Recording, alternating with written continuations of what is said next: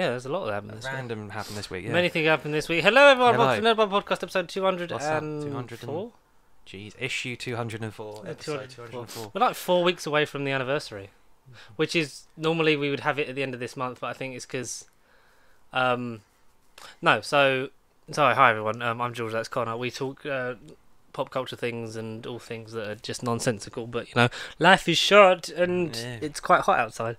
But Very hot. um, so the channel was started on the 28th. Okay. What this month? Yeah. Okay. But obviously, I know that previously um, the stuff would be uploaded late under old regime. So um, I think it was like early July. We're about four weeks out, and hopefully, um, I can say it now because um, hopefully um, our good friend Andy Kemp will be joining us for a special fourth anniversary. Yeah, yeah, because he, he, him, Will, and Mike, excuse me, all joined us um, for that. Yeah, Oh shit. and this weekend we got um, we, what we do in the shadows on Sunday. Oh my god, is this Sunday? I literally forgot. And then you I thought it was. July, not June. Oh god. So you put 19th for June, yeah. Shit. Okay, cool. That's Yeah. good. So that's what we'll have to do. Anywho, um, yeah, um, a lot has happened this week. But first of all, I just want to say well done to Connor because he's had some very good personal good news. So um, yeah. I won't go into details on it because um, not just yet. it we'll do, we'll do that yet. once it starts. But um, exactly. Yeah, we'll um, have to. We, I just got want to say well done, man. Uh, we, we, we're doing a trade federation Nute Gunray. Oh, the, now there are all the negotiations behind the scenes at the minute. But no, it's yeah, um, yeah. We'll figure out where it where it all goes. I think I think it's nothing needs to really change because no because it'll just be the time, wouldn't it? Yeah. It'll just be you come from there and come straight here and do that. from half five, like I'll Yeah. make sure. I'll and then that free and that frees you up at the Yeah, at the weekend. I'm It looking does. obviously when I because I'm not due to go back to work until next Monday now. Yeah, so that's been Yeah. four weeks. That's flown by. that has gone. And quick, obviously, yeah. I will be looking to make similar changes to my life because the channel is stepping up again. So we're gonna yeah. Good. Okay, It's- cool, yeah. cool. Um, and to celebrate, Connor got a Ravager Thor, Who's- Love and Thunder. Yeah. It, well, we're four weeks away from four as well. Yeah, well, that's like because you you you said like you're really excited about it. So I was like, Yeah. I just feel for like your good news, that's your guy. I just I just feel like the journey, like again, not you know telling a story about yourself. The journey, I feel like we've all been mentally, and any key workers that have had to work during COVID, we've all kind of been on a similar character arc. And I feel like the way Force felt in his movie, which of course we'll see in four weeks' time. And we'll about see. finding oneself again and getting the mojo back about uh, in a lot of different aspects. Mojo. like that's that figure. That is me. I just feel like that's where I'm Yeah. at. And you I feel got- like yeah, you had the Fat Thor, didn't you, from yeah. Endgame? the the end game set. Yeah, The- what was I've it called? I collector's set, yeah think. I've now Limited ones. started my journey because I've got Wong. So I was Yeah. like, Well, is just- that your, f- that's is my that first your one, first yeah. figure. yeah, That is your first figure. yeah. Oh, okay. Because I was looking at like buying like loads of them, but then I was but at the time I was buying all the Doctor Who ones, but I've kind of lost the wave. The wave. I'm yeah. I'm about two and a half, maybe three waves behind on the Doctor Who stuff now. So I had I had four of the I think I had like because they would do two three packs, a Doctor and TARDIS because that's Mm. how I got um I got Troughton and the War Games TARDIS, yeah. that's a cool and they would like do two Dalek packs as well. So it'd Mm. be it was going to be like Daleks from two Daleks from every story. So I managed to get the Daleks and the Dalek Invasion of Earth ones, and then I think I missed the Dalek Pack three and things like that. And there was an Mm. exclusive one on the character On- options that was the movie Daleks, but it was the ones they used in um the Jungles of Mechanus bit in um in in one of the movies. Um, in one of the serials. They used one of the movie Daleks, didn't they? In the prop in the background, it was basically like here's how you get movie Daleks as the Oh, thing, I see. I see. and that sold out instantly. So. of course. But- Always the way. Do you know what I do want to get, and I'm going to wait till payday? I'm going to treat myself Too. to both Peter Cushing movies on 4K. I literally was just going to bring that. I will. So that's like another three weeks because one of them's coming out in this month and the other They're one's out. next month. The first one's out. The first one at least is out because I went on Yeah. Amazon and they were both listed on there. Obviously, like the top sellers. Are you getting And- the steelbook or are you just getting the collectors? I might just get the steelbook because I've got Doctor Who steelbooks anyway, so it'll kind of just fit Go in. with the so I'll, ki- it'll kind of be like um, Doctor Who and the Daleks, um, Dalek Invasion of Earth 20 on 50 AD, and then go into the series. Yeah.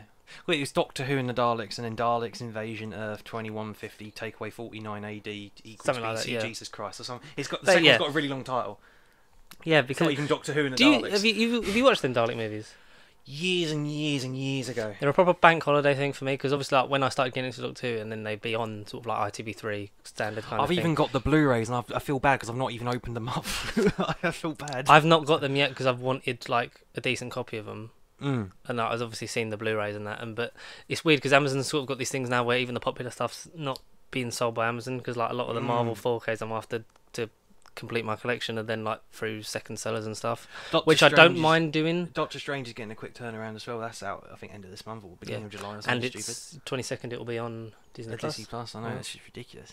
Crazy. and um, stuff like that. I'm I'm with Amazon, I don't mind. A lot of the times, if it's you know not something massive, I don't mind buying it through other things. But if Other it's like things, you know, forty odd quid for like a steelbook here and there, and it's through a second seller, sometimes it's like oh it's squeaky Yeah. bum time till it arrives. But exactly, yeah. yeah. um, Yeah. no, I do I do really want to pick them up because um, I like. I think Doctor Who and the Daleks is better than the Daleks because it's the same story but faster. oh, both of the yeah, because both the movies are based on Dalek Invasion of Earth and the Daleks. So, right? do you know like From the story? Do you know like the history behind it? So basically, because of the Terry Nation estate, money, power, fame, etc. Dalek contracts and stuff. Yeah. Yeah, because Yeah. so it's all like I think it was a similar sort of time to when he was um trying to peddle out a um Dalek spin-off thing like for America. You know when he was trying to do that for a while. 65 and 66. They were literally very quick turnaround, weren't they? Both Yes. movies. They were like together almost. Um, and um, to sort of like make a like get the Daleks out there a bit more. It was, I think it was Studio Can- Canal, Canal, yeah. that got the rights to. Yeah. Basically, they were going to adapt every Dalek serial into a movie, but using their continuity of Peter Cushing playing Doctor Who, Doctor Who, yeah, not who the was a human inventor. Okay. Um, and then his. He has two grandchildren. He has Susan and Barbara, Oh, okay. and then Ian's Barbara's boyfriend, right. basically, Okay. and then follows them into Yeah. the TARDIS, and TARDIS doth take off. And Mm. there's, a, I think there's a joke in one of the comics or something, and was meant to be in one of the Capaldi episodes, I think, that was, Mm. um, what cut out or yeah, I think Yeah. that yeah, it was a thing that was kind of like one of Steven Moffat's. Like he was good at joking, but also sort of like here, you know, maybe this is how things, you know, happen. is how it went in this timeline. because yeah. there was meant to be a David Tennant line about him being human once in 1999 in San Francisco, but that was cut by Russell. So, um, Mm. I think it was basically like um, it was something along the lines of like him being so famous that they made movies about him, yeah, and he was like, yeah. and like it's a thing of like it's not even realistic or something like that. Or, like it's not even realistic. like you know Cushing's portrayal of because it is a different continuity. Maybe the multiverse exists, Maybe Big Finish could somehow pick it up and do something with it. Perhaps. maybe. But I like Doctor Who and the Daleks because it's faster than the Daleks. Yeah, Not to say that the the Daleks isn't a bad serial. It's just because A lot of the seven early parts, seven parts, and then what? Dalek Invasion of Earth is what? T- is it something like ten parts? five or eight, I think, something like that. I feel like it's Eight. eight. I know it's like a longer Let- than should we say eight? And then Yeah, will- when everyone in the comments is like, "Oh, no, it's clearly it's actually seven point seven point five gigawatts Yeah, long. they actually deleted one part because uh, they wiped it there and then. It's it's actually the part for Mission to the Unknown.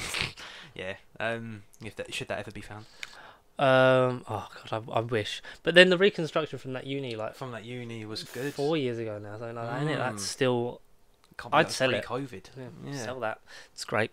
Um, but I uh, I love that we're talking about Peter Cushing for like ten minutes. This is great. Yeah. Um, but um, Dial, uh, Dalek Invasion of Earth twenty one fifty AD. I've not watched in a I think while. I've only seen both of them once, and that was when I had the DVD. So this is even before I met you and the Blu-rays and everything. This is literally when I was very little.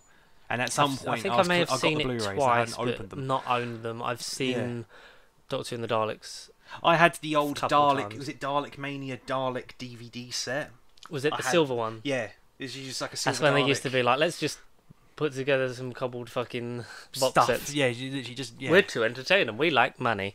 exactly You know the series thirteen steelbooks like gone. gone. Yeah, it's, it's gone the way of the series nine one, which because I I'm I'm look I mean we're just talking about like one specific thing, but um Yeah, I'm Geeky stuff. quite OCD about my like you know me like if I start something I kind of got to finish You it, and my yeah, my deepest regret going. at the moment is that I didn't wait or know that there would be a standard version of the collection box sets because I would have gone like as beautiful and I love them, Mm. like I love them, but for ten pound less, I would have saved so much more space, and that's Yeah. just at a point in my life where I'm at, is I need to save space. Like I'm saving space anyway by getting rid of the single DVDs. Yeah, of course. Yeah, that's that's storing the them dream. away for a car boot at some point. Um, once I've ripped all the special features that I don't have off them, Yeah, exactly. Yeah, yeah. I like I like I love them, but I started them, so I kind of got to finish them because I managed to. I think it was it was on the podcast, wasn't it? We talked about the because like on the first few episodes is when we ordered the Peter Davison set Yes. Yeah. because I managed to just get the Tom Baker one originally before Yeah. the like re-release of Mhm. the limited edition one because Yeah, it got delayed it got and they've all been delayed and thankfully this mon- Monday coming we get the season 22 Mm. hopefully the disc trace stays like in the thing Exactly. Yeah. There's no because the 24 one came loose and ripped out of my one but I ordered another one sent the other one back um, but the other one so far Touchwood has held yeah. but the season 17 one always comes loose and it's not ripped anything it's just like the glue dots have dried so is that a production thing A but that's production just that's just me fucking moaning about shit because all the others have held together but I literally went Mm. it might be a thing if I have to glue them back together which is annoying because I just want a fucking You want an immaculate set. I mean, Yeah. you paid for the cost, and then when it isn't up to par, of But course. if we could have foreseen it and just got the little case because we'd have got all the same context. Yeah. like yeah, just a little true. fucking standard old Blu-ray case that would have been uh would have been fine but it's the, with the steelbooks I've started so I've kind of got to finish Keep going. Yeah. keep and going. series 9 was it was a series that at the time I didn't like No. having gone back to it retrospectively I like it more than I did at the time but you know Exactly, that's yeah. Asian shit Yeah. taste but that was one of the Wisdom. few first few times that Amazon started bringing out steelbook versions of stuff because they did They- that they did the Sherlock series 3 'cause that was the one same them, sort one of them. Yeah. time Yeah. and that sold out and it only goes online for like 200 quid of like steel sealed ones which like as time goes on i'm tempted just so i because all of them now they started going back through re-releasing series 1 2 3 4 etc Etc. and the jodie ones have always come out in steelbook and i've just got them because it's it's amazing it's amazing looking and it's a great space saver because it's one it's literally one disc case wide Well, while we're on the subject of steelbooks, not Doctor Who related, but um, I've bought this week the the Batman, Robert Pattinson's got Batman. the Steelbook one? Media. HMV limited edition steelbook. have Because you of got a the third, the third bonus disc. But what was the third bonus disc right, so that's what I was going to get is it into. just something so- in the way music video starring robert pattinson No, I think it's a Gotham featurette, but it basically is a set design how they made the Gotham City. And oh. where they Oh. filmed it in Chicago, London, New York. I haven't watched all of it, but that's the part I, I like it's an that interesting featurette. you know I miss DVD extras It's like a good 45 minute long explaining how they shot Gotham and how they got it. because apart like, from that, I think the like Spider-Man: No Way Home was the last time a home media release was advertised with the special features, and even then it wasn't a and lot. then we didn't get the deleted scenes. yeah. But it's coming to America and Canada for a limited release in September. Hopefully for us. But then I swear the American 4K, they got the fe- I swear they had deleted scenes on the American disc because even when you search No Way Home on Amazon now, it the American copy comes up as like forty one pounds, just placeholder price, as a separate listing. So it makes me think are people importing the American copy just so they can get deleted scenes? But I don't know. Maybe I, I thought I heard. I don't know. You know. I'll tell you what, Um, I can't be asked. But no, I basically bought the steelbook because I heard of this third extra disc and stuff. And when I read the standard 4K on Amazon, it said two discs, and I was just like, all right, it's just a 4K disc and your Blu-ray for the movie and maybe the odd feature. Mm-hmm. But then shout out to Moviebug on YouTube. He um, did the standard edition unboxing off of Amazon, and there was three discs in there. Basically, you know how Blu-rays come with two like blue discs, one with the movie, one with the features. I thought. Oh, so I've paid extra, however much extra it was for the steelbook from HMV. I, I mean, I like HMV, I like their content and Yeah. whatever. But I opened up my steelbook and I thought, all right, cool. I get a really cool poster which I hadn't seen elsewhere. I've got some nice art cards and some other stuff. But essentially, the third disc it says special features. It's a green disc with, a, with question marks on it. It says like special feature plus bonus exclusive content. So I thought I've made the right purchase. So is that different to the normal? I believe, yeah, it's it's different disc art, and I think I, I don't know what's on the standard special features disc and what's on this one, but I'm sure You'll have to report back to us once you watched it. what's it, what what is exclusive and that I'm sure wasn't listed anywhere is this Gotham featurette, which goes on for ages. Have you got a picture of it Of the, what of of the, the of the um steelbook, like the art that it looks like? Um, yeah, I can yeah show you it on the HMV website. Yeah. I've got my phone, so I don't know what we're talking about. I was like, where have you left it? oh, he's got to run off. He's got. Sorry, we're on set. He's just got to dash off home to get his uh, get his phone. Um, Batman HMV 4K thingy. But yeah, as far as steelbooks goes, I'm not like apart from Doctor Who, that's the only and and the Meg because of price. That was they're the only That was steelbooks I that was why I did the Meg because the Meg was two pound more expensive than the normal 4K. So it was like, well, Yeah, obviously, so that's basically yeah, it's sold out now. But basically, that's that's it. So you've got Batman. that's one of the best mark. posters that they've ever been on a Batman film, And or maybe on a comic book I saw film. that disc and I thought I've got to have it, and it just says special feature plus exclusive content. So I'm like, oh, I've made the right purchase, and all the cards are nice, the poster's cool. So I just I felt like I made the right purchase in the end. You made you made the right Ray bloody purchase. Ray Blodgett's purchase, yeah, for That the out- UK. Uh, oh yeah. But um, oh lovely, I like that. That's very nice, love. very, very nice. Um, Batman, very nice. yeah. film. So buy the Cushing steelbooks. That's what I'm gonna do. They're 4K yeah. anyway, so fuck it. absolutely. It'd just be good to see Doctor Who in 4K in general. Mm.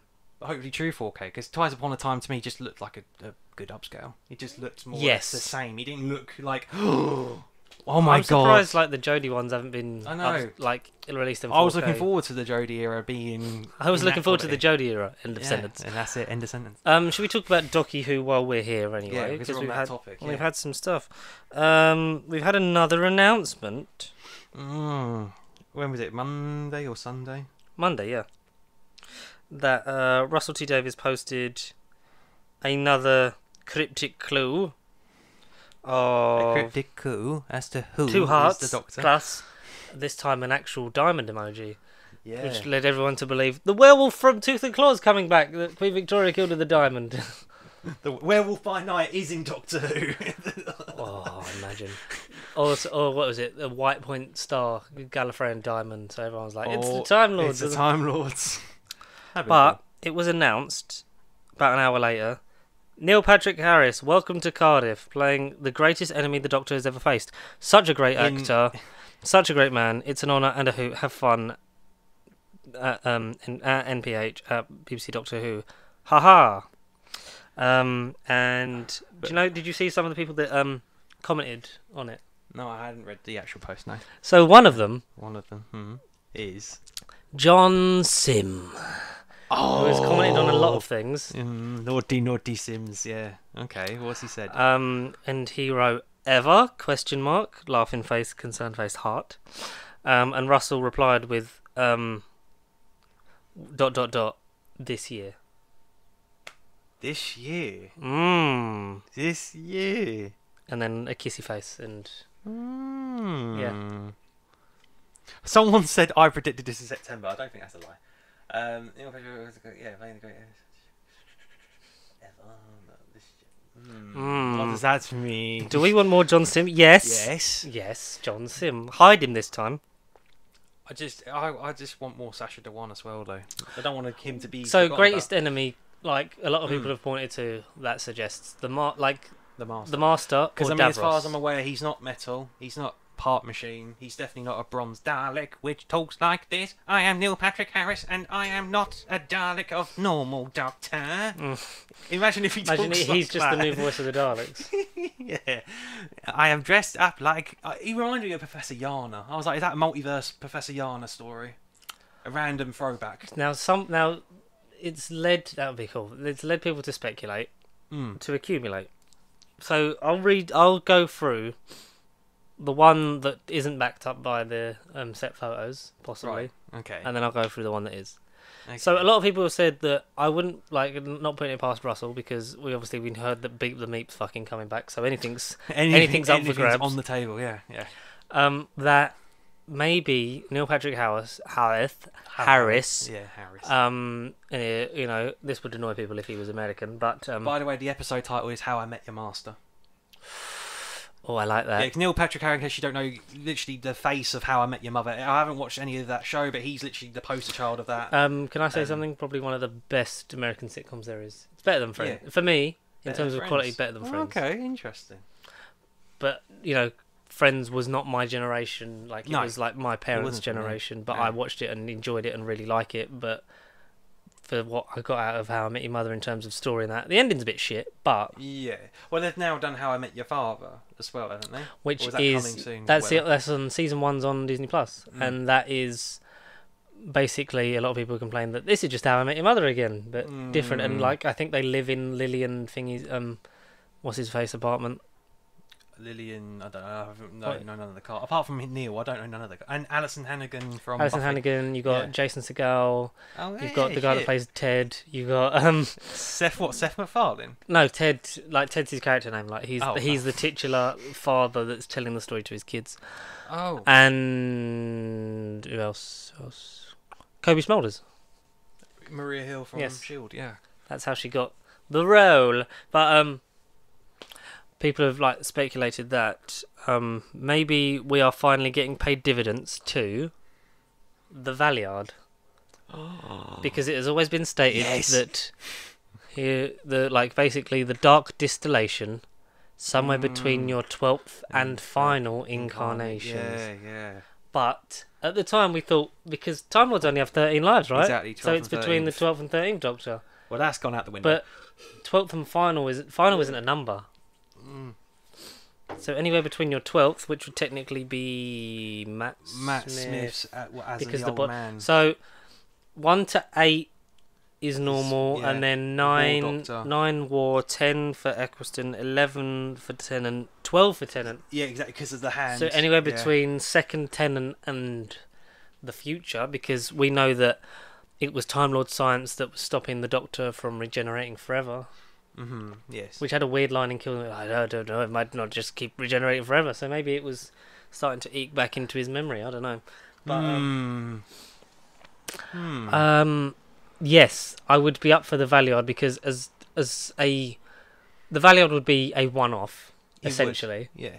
But to have loads of different high-profile people playing the Valeyard, because a lot of the theory is that the regeneration goes wrong either through something Yaz has to do to like fix the Doctor, or from just like her experiences, and it just goes wrong, and she's in Tennant's body, but she's still in the future. But it's all pieced back together, and she's like she's living her past is meant to be a thing.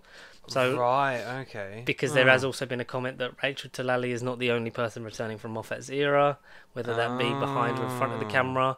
we don't know. Oh, oh, exciting. Okay. So it would be kind of cool if she like had to piece back together her life while she's flipping between like Tennant, Smith, Capaldi, McGann, because he's the one that would still make sense. Like in terms of look wise, it wouldn't just be like here's this really old man being the Doctor. Like that's no hate to the others, but just like Mm. I don't know. Well, no, Davison, Davison as well. I think Davison at a push can still do it because yeah. he's still, you know, he was the youngest Doctor. So I think he's only like mid, early sixties kind of thing. So I'm guessing. Yeah, I imagine so. Yeah. Yeah. whereas um, Baker, and Colin. Baker and Colin Baker, Tom Baker, and Sylvester McCoy are all quite a lot older. And cameo, yes, Yeah. Yeah. but um, ah, just That's all. more okay. Ma- more Majan. But that would be kind of cool if you could get like a whole profile thing, kind of maybe a thread of like Neil Patrick Harris is the Valeyard, and then you have like um other like really famous, like maybe you have fucking Morgan Freeman, like not like that, but like yeah, just yeah, someone like yeah. of that stature, like a really high profile. Samuel, Emma, Samuel Emma Thompson, Jackson. I don't know. Samuel L. Jackson. Emma Thompson, like Emma Thompson. Um. Yeah. who should have played the Doctor in the nineties. Let's be fair, but Hmm. the the so the Valeyard or through supported it seems um set photos Okay. maybe you weren't wrong when you said celestial toy maker because there is a toy shop that has been erected On set. Oh. Welcome to. Oh, yeah. What is it? Does it have a name? mr emporium magic game tricks puppets and bears brett spiel marbles skittles It's Mr. McNaughton's toys games obertrix and board games mr emporium and something like greatest toys in the galaxy or there's some kind of thing and it's basically like yeah this guy's maybe the celestial toy maker Ha. which i Ooh. i am up for big time like a lot It's, it's the one animated reconstruction I want to see. That and Wheel in Space. Um, well, yeah, do it, guys, and release the Celestial Toymaker if Yeah. possible. Make it. do you want more good news about who because we're kind of on About it so we'll talk yeah. about it Go on. Keep. keep So this is from a Doctor Who page on Facebook. Um, so take obviously all of these things with like a pinch of salt because until we know it or see it, it's Yeah, not going to be. It's not confirmed. A new behind-the-scenes show has been commissioned for BBC Three called Doctor Who Unleashed, which will begin to air in 2023 alongside the 60th anniversary. The show will be fronted by BBC radio presenter Steffan Powell. The show will be the same format as Confidential, which ran from 2005 to 2012. Why not just call it Confidential then? Exactly. Yeah. Why not? Because if you went Doctor Who Confidential coming back because BBC Three is on the telly, everyone would be like, "Oh my god, don't cancel CBBC." But um, stuff like that has been rumored for a long time because there was a rumor that um, it was going to be back and presented by v- various different people, including like our friend Dominic G. Martin and um, Billy from uh, Review of Death, and uh, uh, he did Doctor Who Dark Dimension, didn't he? So that was the, your little review thing, Yeah, yeah. My little skit. My and they were little just like, like, um, when did this happen? When did it happen? Yeah. But um, I think that kind of thing needs to happen because Doctor Who, kind of needs it. It's a good. Doctor Who Confidential got me into wanting to be in TV, and I will get there because I had this vivid dream. I'll tell you about it now. I don't know whether this is like foreshadowing anything, but it Mhm. was a different director, so maybe it was a different special. But I had a dream that Graham Harper was back. Graham Harper. Okay. Yeah. Yeah. So I was out somewhere, I think with family, and like there was some filming going on, but then I saw a, like a man in a coat walk past, and I was like, "That's Graham Harper." Uh-huh. So like, cha- like obviously this is all in a dream. Chase after him, and I was like, "Look, just let. I don't mind if I just make the tea. Can I just have a job on this production, for, like even if it's just for this episode, just so I can die happy?" And then like I got, I think something happened, and then I woke up. So I was like, "Oh my god!" Oh. And then, but then I was like, uh, then I was like, that's really weird that specifically it was Graham Harper, but it wasn't Graham Harper how I remember him looking in Confidential for previous episodes. It was like that's a, It was a that's curator. that's- no, that, no, was that was curator. no, Graham it was Harper. it was Graham Harper, but like aged up, and I was like, am I trying to see the future? Like, what's happening What's here? happening here? Hmm. When was this last night? Or a couple Two nights ago. two nights ago, I think, something like that. And I was like, I was literally, I was like, why am I? Why is it Graham Harper? Just pop up in your head. Because if Why I was going to say, and this is no like insult to Graham Harper, because he was a fabulous director in the classic series and amazing when he returned under the Russell era. Um, really, like you can tell, like his episodes are fast, action packed, and like he did a lot of the fucking really cool episodes like Utopia and stuff like that. Oh, and right, Waters okay, of Mars yeah. was his as well. Oh, okay. Arguably one of One of the the best, best- Tennant's episodes ever, and maybe one of the best of the revival Yeah. for me, for my Yeah. money. If not for the best, the whole the whole show maybe. Yeah, but if I was going to say in terms of a Russell, because Rachel Talalay is a Moffat director. Mm-hmm. Mm-hmm. If I was going to choose a um, Russell director, I would say Euros Lyn. Euroslin. Yeah. No, oh, oh, was it? I think no, I think it's pronounced Eros, Eros Lyn. But um, one of like he was like young, brought on board like in 2005. I think he did the first one was Unquiet Dead, and he did Oh right. Okay. End of Time Part One and. Two. Like so, he was he was a episodes, yeah. constant throughout it. Like along with him, Graham, James Strong, um, Helen. No, Helen Raynor wrote but like one of like the constants. I think he did series two finale. That was stuff like that. He was Doomsday. like he was a very good director and has gone on to do I think other Bad Wolf like Related production things. Yeah. Yeah. Okay.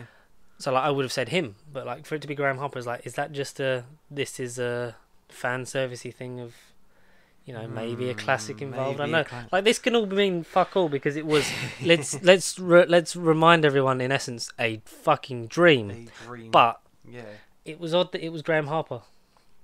It's specific. Yeah. Mm. No, Like specifically never. him. Never say never. So maybe I'll have a job in a few months. I don't know.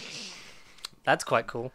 Oh, I'd be happy for you if you did. Um, I'd be like, can I bring this guy that I know? Like, we just talk about bullshit. We should do fucking confidential. Let's be Yeah, real. why not? Doctor Unleash. We can unleash the confidential. We don't have to be confidential and private. We can bring it out to the world. Unlimited power. Unlimited power.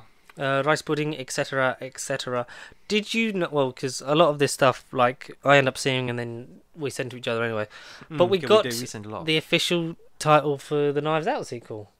Yeah, but it's a thing I weren't even aware of it existing. About no, I, I haven't googled what it's called. So it's called. Do you know what the name is?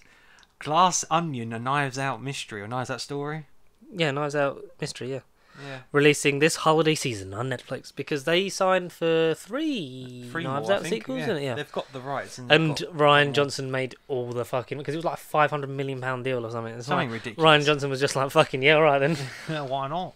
Um, Why not? I can't wait to see it. I know we've had a few sort of teases of it's like another ensemble piece. Obviously, we're going to get Daniel Craig be the constant, which I kind of like that he's going to become like this fucking deep south fucking anthology detective. anthology like Hercule Poirot next, yeah, kind next of bastard. generation Sherlock Poirot detective. Yeah, yeah. Which isn't. And Ba- Gla- I don't think Knives Out. Sorry, I don't think Knives Out is based on anything. Sorry, I think it's an original. No, it's original idea. original from Rian So Johnson. it's good. It's good. So like yeah. he go anywhere. It's it's an original IP. So it's like this is cool, Mm. and I can't wait to see it because I I love Knives Out. Knives Out was one of my favorite films of 2019. it was, one of the probably, best no, was- experiences. yeah, I think it was third to Endgame and Rocket Man yeah. Like that it was year. in my top five, I think. As well. yeah, Um, it was great. It was really good. like it's so well made, so well written, so well directed. And Rian Johnson, for everyone that hated on Star Wars Last, Jedi, Yeah. he's a very competent filmmaker, and that's why for me, Last Jedi is one of my favorites. Have you seen Looper from him? I- Rian Johnson's I- Looper. I like Looper, but I think at the because it was at the same sort of point as Inception, so I was like, it, is it trying to go for the same thing of let's be really clever and big and try and confuse you and be like in a loop. Clever. Yeah. Did you know that um, Bruce Willis refused to wear prosthetics For that, yeah. because yeah. they wanted to because obviously George, Joseph Gordon-Levitt plays the younger version of him, of him. so they yeah. wanted to meet in the middle Right. Yeah. because they have obviously very different faces. But that's why if you think Joseph Gordon-Levitt's face looks weird, it's because he's got Bruce Willis prosthetics on to match him up to. Ah, to be him. to so that because but Bruce, wouldn't do it for Joseph. Yeah, because they were gonna. It was gonna be like a halfway house, so that like, because they have very different shaped faces, Yeah, so it would have kind of like. They'd have met in the middle, and like, so it wouldn't have been one or the other. But it was like Bruce was like, nah, fuck that. No thanks. And Joseph Gordon-Levitt has prosthetics on because it's mainly around like his jawline and Yeah. sort of like his his eyes, I believe. Mm, yeah, maybe. Yeah. Yeah, I mean, I've seen, I I saw it a while ago, and I to me that didn't stick out. But yeah, I just noticed that yeah, they were meant to be playing the same guy, and like, as you pointed out, they don't have the same facial or DNA structure. They don't exactly look alike. It's like us two; we don't really look alike. It's only the hair on our face. The hair on our chinny chin Chin. chins. But yeah, so uh, yeah, I like Looper, and I just I love a Rian Johnson. There's movie. another one. There's Brick from 2005. Like I think it's his first feature, and then there's one in between that and Looper. So he's Hmm. done like five things, plus He's- Knives Out, and whatever else he's doing. and we canny be waiting because it's fabulous. Um, what else? So James Bond is apparently so there's. This is another strong rumor because obviously there's a really good. Um, we've talked about it before, but Calvin Dyson did a video I think yesterday or the day before, where Okay, he rated and talked about all the potential rumored candidates for James Bond. Okay, cool. So he did them basically into like he get. I think it was, it was a full martini or a spilled martini was his rating, and he ba- he based it off of his personal preference, like in terms of like what you think they could do, like if they would work as James Bond, and the probability of it. right. Like he said, in, that would be in terms of age, star power, and like like how exp- yeah longevity, expensiveness. So he went. So I think he started with Henry Cavill. And worked his way through some people that I was like, huh, there's ones that I haven't personally because I, I know there's like you know in like the bookies they have like every name under the sun up to like James Gordon and shit on there. Exactly, But I've never like I've always sort of like seen the same six to eight people. yeah, I think I have. But- Without naming names, yeah. Yeah, I and two of the people I didn't see on there because this isn't a spoiler for the video, but John Boyega and Daniel Kaluuya weren't on there. Okay. Yeah. And like it was one of the things he was like, if I've missed out anyone that you think would be a good James Bond, like let me know, like I'd put it in, in, the there. comments or whatever. Yeah. But he mentioned like your Henry Goldings, your Idris Elbas, and things like that. Jesus. It's a re- so like he was obviously like Idris Elba. Like ideally, if the film was coming out tomorrow, and they'd Yeah. already had it in the can, then yes. But obviously, the way the production cycle was worked for these movies, It's not going We're not gonna get ideal. two no. to three out of them. No, exactly. No. But his, I think his top pick is at the moment is Nicholas Hoult, which I was like, mm, I've never really liked him Been outside of. Skins. Yeah. Like he Yeah. was fabulous in that, and then he's never really played Beast properly. So No, was- exactly. But um, He doesn't talks hold about up. Fassbender and things like that. Like he has some great people in there, so um, give it a watch. I need to. He said this a couple of days ago because I haven't been on his channel recently. I'll check it out. I will It's check I've it out. it's two to three days. Calvin, don't I, I either watched it the day before, yesterday, or Yeah. like the day before that. Like I, I watched it and I was like, oh, because it's fascinating list. about 20, 25 minutes, I think oh, maybe. that's not bad. Yeah, that's not bad. But it goes through everyone and like there's some, Names that you hadn't personally thought of, Yeah. all seen listed. and then you hear them and you're like, mm, yeah, and then or even like the obvious ones are like that doesn't make sense because obviously they're too intrinsically linked to this franchise or they're too old and I do, and like even says, even says for some of them like I think Michael Fassbender one is like I if they'd have if Daniel Craig would have stopped after Skyfall he would have been perfect and he cites the um, Nazi hunting scene in First Class I was like you just get that vibe from him. And I think he would have linked well with Christoph Waltz and that kind of Blofeld Yes. half brothery as well. If Michael Fassbender was in that role. yeah, so he like he says like he like he even says like I, I mourn some of the James Bonds that these guys would have been like they would have been amazing, but you know either age or star power or they're too like even because Tom Holland talks about his one Tom- before. Yeah. and even says like Tom Holland's too expensive. Like you're meant to go He up. In, you're meant to go up in price, but how, how where do you where do you set the boundary for him, and where do you go to? Mm, exactly. But um, yeah, it's a really interesting watch, and um, Idris Elba has reportedly um, been back in talks to play James Bond because apparently they'd conducted a super duper market research that's proved that he is the most popular James Bond. okay. I, Sure. I I wish like he's one that I was like he would have been fabulous. A few years back. Yeah, Yeah. because Like we said previously, yeah. He's either late forties or early fifties. Like yeah. he, like the thing is, Idris Elba is a like no homo. He is a gorgeous man. He is. Like he is a beau- like he is a beautiful man in good shape. He does not look his age. Uh, and he's at a- 49. Forty nine. He's a fucking amazing actor as well. And if he was like early forties, late thirties, Then yeah. yes, Yeah. all fucking day long because everything he's in, he brings this like sexy charm, suaveness. He just oozes charisma. Oozes charisma, intensity, and he just, can do yeah, the he can he can do the intensity, but he can also do the softer mode. Like you see a lot of his work, like he can do, like it's not just the hard nuts, like the emotional underlying stuff that makes him tick as a character in like places In like things. Luther. That oh, like when Yeah. like that gets developed on further because he is a bit sort of one note in series one, but as he grows into that role, he he fucking knows that character inside and out and what makes him tick, and what makes him act the way he is. Like he's a he's a fantastic actor, and he would have been amazing. So, and a lot of people have said like, is it going to be the new way to go in terms of like the Doctor? You get an up and comer who's famous but not too well on known. the radar. Maybe yeah. you do a couple of like big bombastic like blockbusters with Someone an Idris Elba Yeah, yeah, kind yeah, of thing, someone. like a, a superstar, maybe. Get the general audience back into it because they, I know they want to reinvigorate it and get more young people involved in it. yeah, Um, Yeah.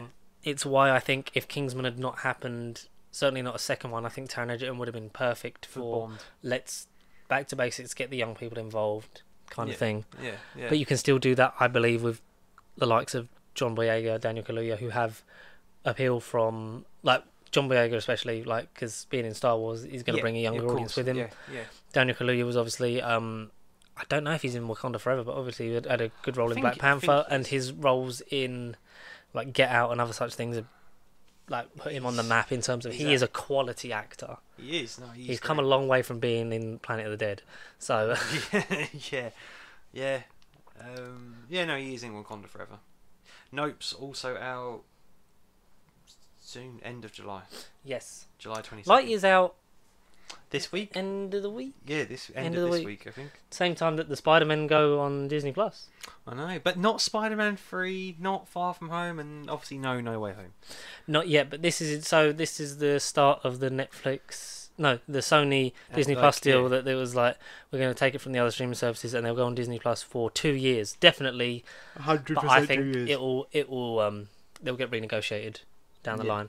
So at at this moment in time, going on th- this Friday, yeah, Mm-hmm, yeah. June the seventeenth, will be um Sam Raimi's Spider Man and Spider Man Two. Amazing, uh, Marc Webb's Amazing Spider-Man one and two, and Jon Watts' Spider-Man Homecoming. Um, obviously, like you said, no word yet of Far From Home, No Way Home.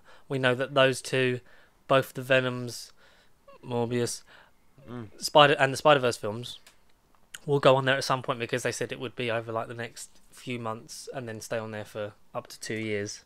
But until they realise that they're all on one place, They're all so on we'll one just place. negotiate, and Disney will probably pay them more money, and then eventually buy them out. Anyway, What What if Morbius Two, Morbin Time, was a Disney Plus original?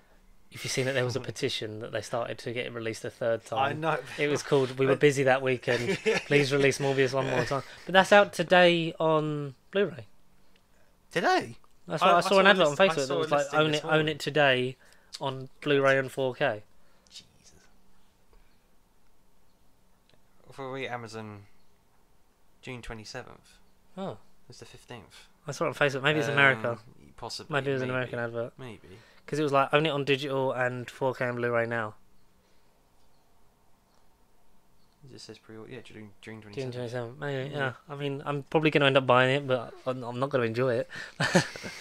No, I'll enjoy Matt Smith dancing over and over again. that that song's a catchy banger as well. That song's weird, but it's catchy. Yes. Um, so eventually the Spider Verse stuff and all that will go on there as well. That's interesting. I think that's going to bring up a lot more traffic. I don't know. That, don't think this is legit. Hawkeye DVD. No. Tuesday Delivery. Go scroll down. Yeah. But Dispatched from Amazon, sold by Ventec. Ven- yeah. yeah. no, don't know who they are. I'd love it if I because they said at the moment the because they changed it from never to the plans are not at the moment to release the Disney Plus stuff. I think they will because They physical media like point. that's even more money for like Disney Plus. it is. Is if like if because uh, say twenty million people in the world buy a copy of WandaVision, Yeah. Exactly. like you get ten million buy Loki, kind of thing. You get that's more money to put back into your own product. So why wouldn't ya? Do it. Do it do it um yes um on the spider verse train i i love that uh, we've had we've had a bit of news about um across the spider verse Oh, images. And, um previously across the mm. spider verse part one now just across the spider verse because it's beyond Beyond, I think he's beyond. Yeah. so uh shea whigham has been cast as the voice of george stacy um in Mhm. across the spider verse in hailee steinfeld's universe so the george Mm. stacy from that universe i believe um i've not heard of him or seen him in anything i don't think so Shea Whigham, I know the name and I have looked him up on and off.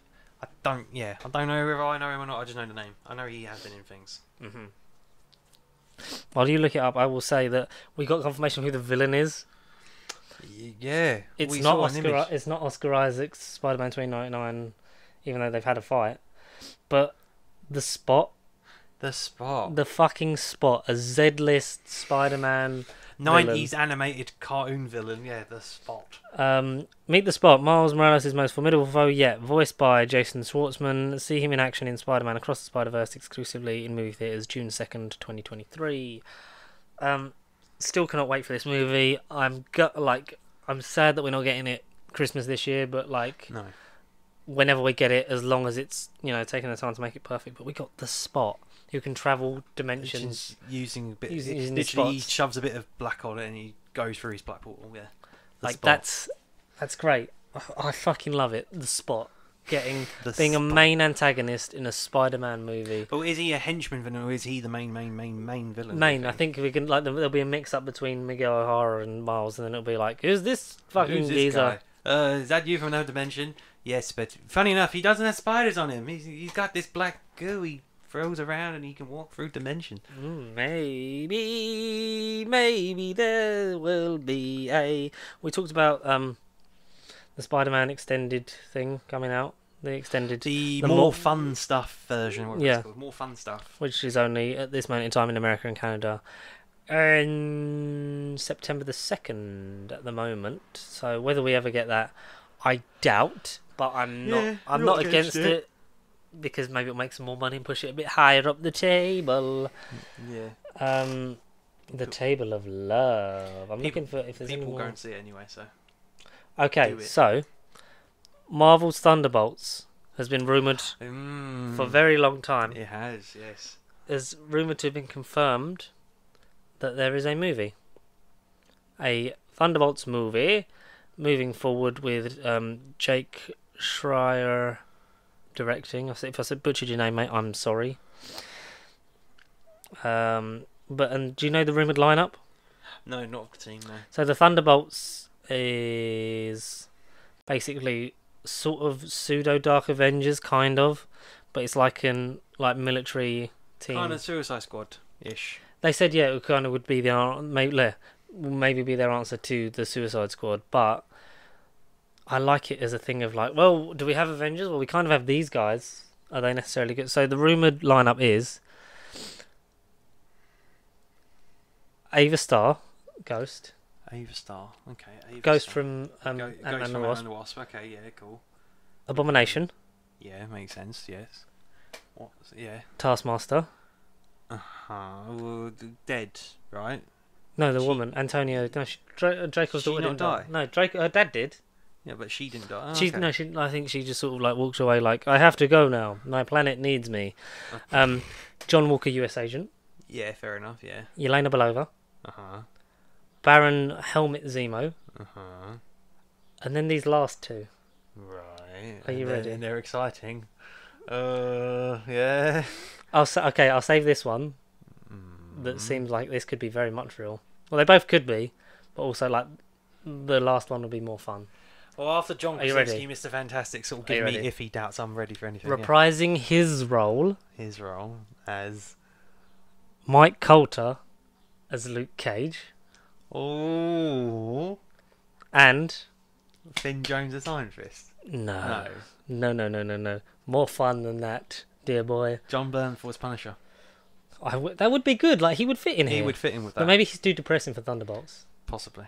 Maybe. But then if you're making like a, suicidal, a cheap suicide yeah. you, wouldn't want the most suicidal bloke on the team. Exactly. But um, yeah. Uh, possibly reprising his role before his movie comes out. Blade. Wade Wilson himself, Oh, Deadpool. Ryan Reynolds Oh Deadpool. shit. Deadpool on the Thunderbolts. Oh. Um, oh. I think I speak for everyone when I say yes, Yes, please. yes, mummy, please, Yes, yes, fucking please. Yeah. Ooh. fucking please, right, fucking now. Oh, that would be so good, right? That'd be a fun team. That would be. a I, good do you know what? team. Ex- I really like if it is Luke Cage. That would be a lot of fun Yeah. because we've had. It's almost like we're getting them seeded one by one. We know that Krysten Ritter has apparently filmed something Oh. Because that was rumored before that she Oh, was spotted okay. around with a With Jessica Jones style outfit on. So we've had Secret Invasion. Maybe. we've had Matt Murdock, and we know We've he's had Matt getting a, Murdock, he's yeah. getting a continuation at some point. exactly. We've had Kingpin return, and we know that he's out there and about and will be involved in some capacity in Echo, Exactly. and he's probably not Yeah. dead because why No, would you why kill would you off? kill him off just to bring him back? Yeah. Um, Yeah. Krysten Ritter. Has, Yes. Like you said, just film something. They Secret what we know Invasion. that they before they were peddling maybe a Jon Bernthal Punisher series on Hulu, but we know that the Punisher will be involved in some capacity, and they want Jon Bernthal to stay. If Mike Colter does return as Luke Cage, then I think that all the book confirms that Finn Jones has to be hire. Iron Fist. Heroes for hire. I Yeah. a, Dis- a six-part Disney Plus show, Heroes for Hire. I would fucking watch the shit out of. We would Yeah. watch it on here every day. That'd be all our content would be. Here. We would change our name to Heroes for Hire. Pasty Heroes for hire. oh yeah. Oh, I'm happy with all of that. Yes, like all fucking day. Yes, fucking please. Like Yeah. I would. Ugh. Like Mike is such a good Luke Cage as well. Like he is such a good Luke Cage. Like it's ridiculous. Like they all are. I think a different script for Finn Jones and someone that cares about Iron Fist. I think that maybe you make um, You make Destin the, Daniel you- Cretton do a spin-off. exactly, and then you can make him cross over Like with Shang-Chi, Shang-Chi, yeah. and do their martial arts team up movie. Yeah, you- oh, God. That that would be yeah. So as you know, ridiculous as a Thunderbolts movie might sound, It's lo- it's liking more and more or less it's going to happen at some I, point. I yeah, I I like I dig it. Just like a bet, I dig it.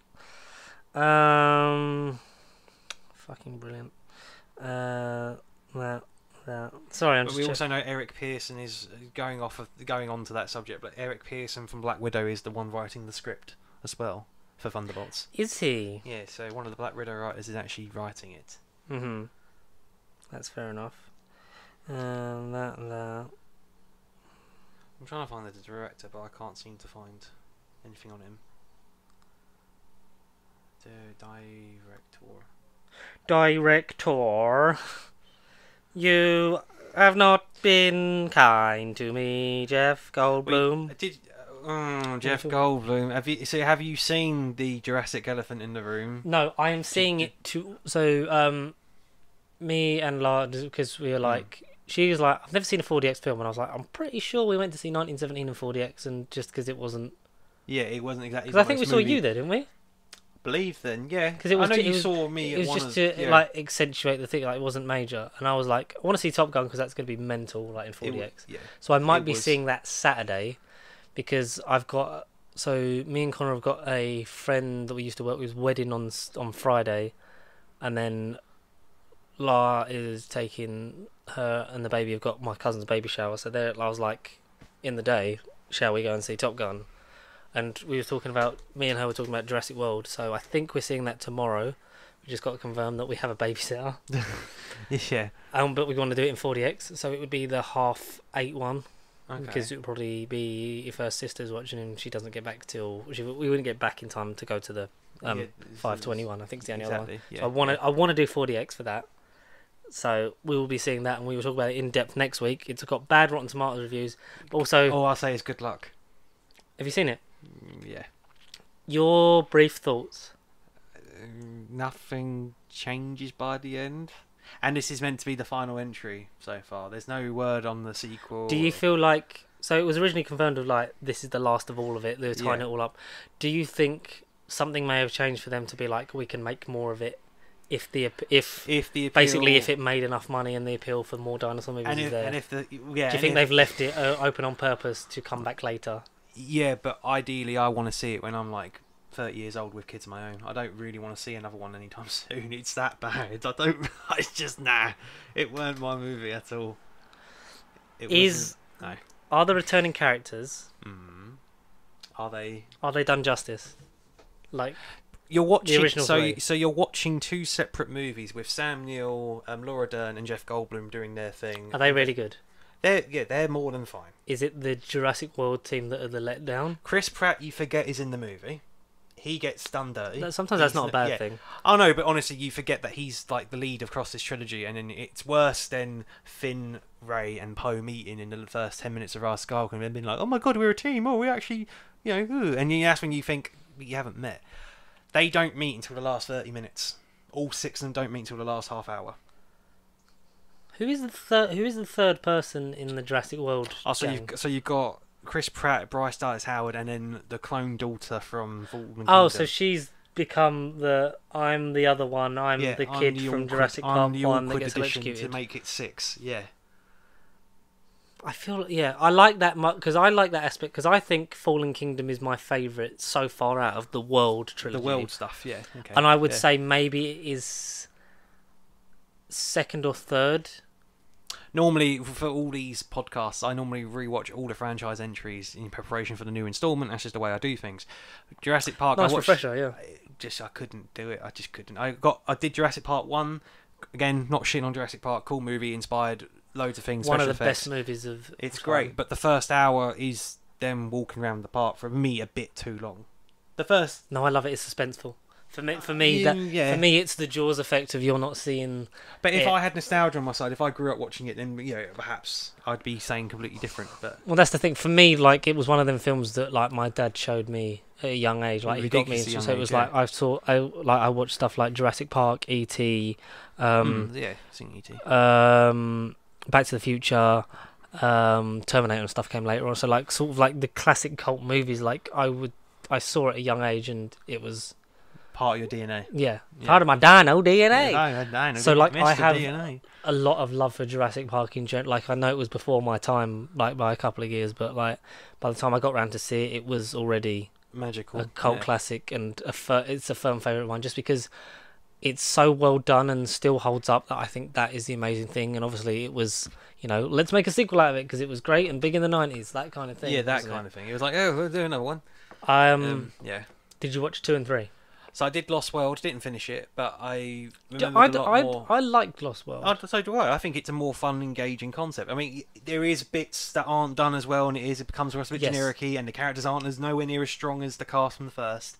But I think Jeff Goldblum does a damn good job at trying to carry it. can we argue that it's got one of the best tran- scene transitions in cinematic history with the screaming woman and switching to the train sound as he's like like that Yeah. at the train station that is inspired Iconic shit stuff. Iconic- That's iconic amazing. stuff. And I think on my day I might like both sequels better than Jurassic World, Hmm. just because they do a lot of more fun. Like I know it's like a and here's another park and here's a thing, but there's a lot of fun stuff and it's got the bones of a good story and it's got No, no, it the, definitely a cast that are into it. Hmm. Whereas it was a Because who who was originally meant to be doing Jurassic World before Chris Pratt? It was I someone. don't I, even think. know. I don't even know. I don't know. I think he replaced someone. It was like someone like Daniel Craig or someone like that, like a big name actor. But it kind of was like, uh, He well, Chris Pratt's out. up and coming, and he's just on Guardians of the Galaxy. He seems like a safe vanilla bet kind of thing. And it's not to shit on him in these mo- like these movies. Like he's been, I think Jurassic World is his strongest performance. I think yeah, the three, yeah, yeah, I'd say. But I like him in all of them. That he, but he's just a bit of like we've got to have generic action guy and a name on the poster kind of thing. Yeah, yeah, absolutely, yeah. yeah. So do you get more of that in? Um, Or more, or more Dominion? generic, what, Like, more is, is it just a kind? it, is it a kind of thing of like he's just here for the action beats? Yeah, Oh, yeah. No, honestly, I'm not even trying to shit on it because um, I had someone pop into work yesterday, and the first thing that came up was, "How was Jurassic World?" And I was just went, "Oh, "No." just no. I'm very rarely like, "No, don't go and see it." But honestly, I just if you're if you're especially on that train of nostalgia and you really care about the franchise, just and you think it's like the Avengers Endgame crossover of like generation meets generation, and you're like, it should be this. It it's wherever you're thinking, it's not going to hit those levels. It just doesn't. It's a shame. But I don't want to dampen your expectations either. Well, no, because it also it might do the thing of like I, that then lowers my expectations, so I might enjoy it more, More, a perhaps. baseline. Yeah. I think you had. It's one that I honestly we- didn't care about, but yeah, I knew I was always going to I think it. you have the phrase that we've coined as multiverse of madness syndrome, which is where you've gone in expecting high standards and been like, oh, this is like not bad, but this is discernibly average in terms Yeah. of what we were promised. And because even Chris Pratt like quoted it as saying it was like the end game of Jurassic Park movies. Oh yeah, but that's so misleading because just to me, the ending of You're Fallen telling me that Jeff Goldblum Fallen does not ride a dinosaur he's- and punch Thanos in the face? Unfortunately, no. What the Dream fuck? on, you, you Reddit users, you keyboard warriors. And then he snaps and goes, "Life uh, uh, finds I- a, a a way." way. yeah, that'd be incredible. Do you know who He, should? I think he gets good in the third act. He he does his bit in the third. I'm like, okay, he he's he's back. I just think Because the you got- dialogue, the you- script's terrible. If, the, the if, scenes are too quick. if yeah. we'd have Sorry. only seen like Jeff Goldblum in that cameo-ish thing in yeah, Jurassic World: Dim- um, Fallen Kingdom, I'd have been like, "That's fine," because that alludes to like the stuff out there. He's one of the experts. He's talking he's about done it. this shit before. Yeah, yeah, yeah. Like if you did alluded to the other but it's the fact that it's like, and here they are, they're back together again, and this is great, and this is going to culminate everything that's happened since the first yeah, no, one. but I mean, and I mean, no disrespect to, to the Park trio, but it doesn't feel like they they they naturally fit into this world trilogy. It just feels like they have been shoehorned. Let's get more money in. Oh, look, let's get the audience back. Let's do a separate movie with these guys taking down some business that's a rival of like a, a spin-off of InGen.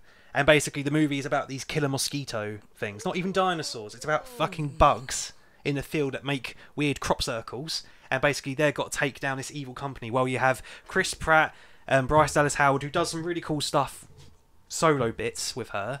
Um, and then you have like the kid from the third one. They're trying to be the awkward family. You got Blue the dinosaur, who's gone off with her blue dinosaur mother, and they're trying to do like Dino family reunion. You know, human dinosaur co- collab, whilst they're trying to take down a business corporation. And in the last half an hour, oh look, huh. You look like you look like you're from a movie I know 30 years ago. Oh, Jurassic World, not a fan. That's a line Jeff Goldblum says. He goes, Jurassic World, not a fan. He said, it, it feels very meta. It's That's like, very meta, yeah. Mm, you're kind of talking about this whole movie. but um, yeah, no. Jeff Goldblum does his thing in the third act, and he carries it. But everyone just doesn't make give a shit about meeting each other. It just feels like they're on screen just because the movie requires it. You're watching two separate movies, and then they mesh awkwardly, and it just ends. And then it very much ends with, uh, without spoiling, dinosaur humans. Maybe see you next time, Jurassic World. But as of time of googling, there's no plan. So see you whenever, Yeah. kids. This is definitely the end, unless we want to make more money. Exactly. This is time. this is the end, uh, but there's no sense of an ending. There's Mm. no sense of culmination. There's no end game payoff where you're like, So there's I've no- watched this. It- It's not wrapping anything up. It's just a here's a big special thing, and maybe we'll do more of it, and maybe this could be the end. Maybe, yeah, maybe. But honestly, the way it is, I don't see it anytime soon.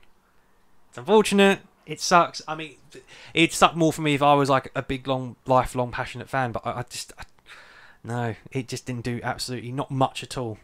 It's one of them series that hasn't needed to happen. Like you could have No. just had Jurassic Park and been And done been with it. done with it. Exactly. Yeah. But Jurassic Park two and three were obviously made, and it kind of was like, all right, let's leave it alone. But it was like Universal were. I've "Hmm, got, I've got, something. I've got no inspiration to sort of go back and see whether that because I know Jurassic Park three was like shat on at the time, but I don't want to feel like is that now better than Dominion? But I feel like I could go back and compare. It might I- make certain movies look better li- than they I- have yeah, after I Dominion. like honestly, Jurassic Park three. Yeah. for its stupidness. Jurassic Park 3 might be, might be great. It might be great after this movie. Ellen. Ellen. Oh, I don't know. It's just it's one of those where I just thought, what what happened with this movie? What what happened? I suppose we'll never truly Truly, no, understand. no, I don't know. It just it wasn't one of those that I walked out of and I was like, oh, it was good, but bits of it was sloppy. Like the whole the dialogue is atrocious. The script is terrible. The, their dialogue amongst all the characters are very short and sweet. Um, Hmm. There's awkward transitions. The dinosaurs are fucking dumb in this movie. You get a cool dinosaur fight at the end. I'll give it that. I'll give it you know, cool dinosaur props at the end. Um, but then honestly, it goes on for way too long. The runtime is atrocious because it's the longest movie out of all of them. I think. Jesus, how long? Um, it's I think it's about two and a half hours, two hours and twenty eight or something like that. Fallen Kingdom might be like five minutes behind, but you feel the runtime. I don't know. It I've, it got better again as it went on, like in the second hour. But the first hour, you're just watching two separate movies, and you're thinking, right, how are they going to organically go and meet? And you literally find out before the end, and it's like, okay, right. Um, yeah, it's just one that I wasn't really a big fan of. It just didn't do a lot. There was just little things that bugged me as it was going on. The lines were just awkward. Nothing was really funny until like Jeff Goldblum does his thing in the third act.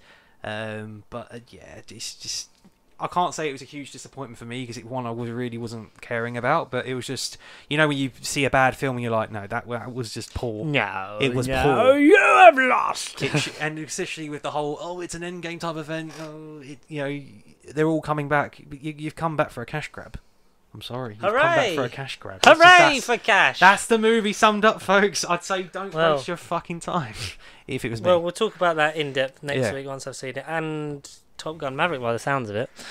But um, way better something waste we, something I did really enjoy more of. I've not watched episode. Was it episode five today I, yeah i think so i've not seen it yet of General Kenobi? We've got General one week left at time of recording, but um, sad i know very sad. hmm. Um, no, we talked about it last week, didn't we? Episode four. Yeah, we we did did. the first three i don't think we'd watched four What happened in four? I've forgotten. it was the new hope episode that he does a lot of sneaking around Oh, sneaky, sneaky on the special base. base. which yes, is which is from jedi fallen order which i didn't even clock it's from I didn't Jedi because I've not Order. finished Jedi Fallen Order. Oh, well, spoil it. No. So, um, sorry, just going back on Jurassic Park stuff. Mm, Like, I yes. think the reason that I liked it Mm. more and sort of fell in love with, it, which I do, is because of the Lego games.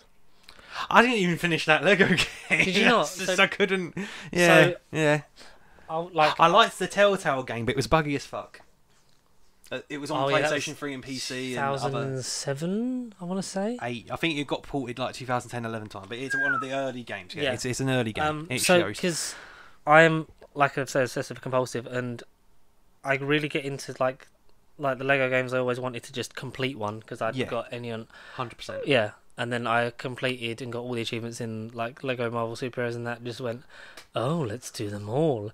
And, do Jura- and the everything. Jurassic, Lego Jurassic World was one of my favorites because it was a different IP. Yeah, yeah, of course. It went across at the time. It was just the four films the four films, yeah, because Dominion and Fallen Kingdom weren't were, even were existing. They weren't even out. Because it was a think it- 2015 20, game. The film was 2015 game, 2015. and then yeah. it was three years before the next one came out. It was along the similar thing of like we got a Lego Star Wars Force Awakens for some yeah, reason, exactly. Yeah, whatever reason. and also with um Lego The Hobbit because it only has the first two films and the third film Just DLC made, never yeah. came out. Yeah, it never got made. So I, I like that and. Like when I play those kind of games that are like with the Harry Potters, like it makes you want to go back and just absorb it Just all. complete it. Yeah, yeah. so like yeah. I'd watch the Marvel stuff while playing like the games. Yeah. yeah, and yeah. things like that. Um, and Jurassic World, Lego Jurassic World really helped me with that, and it was one of the more enjoyable ones. Yeah. Oh, okay. Well, yeah. So yeah, that's that was just my last thing on that On because Jurassic. um, On yeah, Jurassicness. Um. we yeah. So yeah Obi Wan Kenobi, great New Hope episode. Fallen Order is another thing I need to finish. I'm in the Mm. middle of like finishing a setup, looking after a child, and kind of just gathering my life together again. yeah, of course. before of I- course. Have um, free time. But I I think I, it's safe to say now. I think at this moment in time that we should be doing a live stream for the finale of Miss Marvel at Oh, this point. Okay, at this point. I think yeah. because we're four weeks away, so I feel like that's Wait, I thought there's only six in Miss Marvel. I thought that was Six. longer as well. six. No, there's only six. Okay, all right. So it's about four weeks. So we should be able to do that. Um, Hmm. and maybe Jedi Fallen Order will be one of the games we play. But also because I picked up So we went to. This is just boring about my life now. So um, because everything's expensive, like as there's Of still course. quite a very cheap shop to do like the weekly shopping, and they had Guardians of the Galaxy on Xbox Series X for twenty four pounds. Oh, So- the Square Enix game, not the Telltale one. Not the The- Telltale yeah. one. No. Um. The very fun and creative Guardians game. Yeah. Yeah. So Why did you buy it? I bought it. Twenty four quid. I fucking treated myself, man. And um, You, you I, haven't booted it up yet, no? I just haven't had time. yeah, really. no, no, no, no. I was just asking. I Once we get, get, your first well, yeah, um, but I that's possibly one of the games that I want to play on there. Fallen Order. Um, I've got both the Shadow and Mordor and Shadow Stuff. of War stuff that I got for free on Gold years ago and Years still have never played. Yeah, yeah.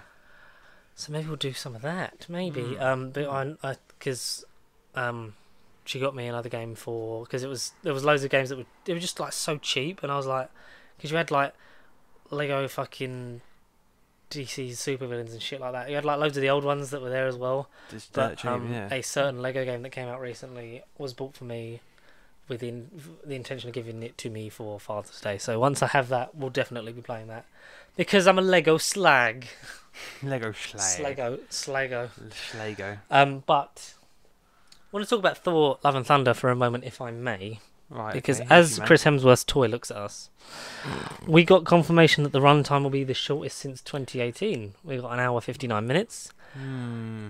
Again, worries me. Like, mm, I Hmm. think Doctor Strange was missing 20 minutes, Yeah. but then maybe a Thor film can feel more. quick, How long was how- Ragnarok? How long was Ragnarok?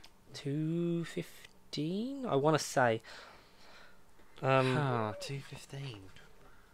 I uh, missed that. It's- it- yeah, Thor it's still a good 15, 20 minutes. Ragnarok. Hmm. Um, fucking. Where is it? Ragnarok run. Two hours ten. I So, well, okay, so ideally ten minutes then. that Yeah. You're missing. Okay. But I'm still, I'm still up for it. I'm still, I'm not worried about it. No. Um, it's gonna apparently contain flashbacks to fill in the breakup between Thor and Jane, which I like yeah. that it's kind of retroactively filling a plot hole that was kind no, of it's- like it's a neutral dumping. She yeah. dumped me. Hmm, It was mutual dumping, so we'll see what happens with that. We'll see how that affects her coming back as Mighty Thor, and how it upsets all the really um, egotistical, shallow males in Yes. fandoms, Yeah. um,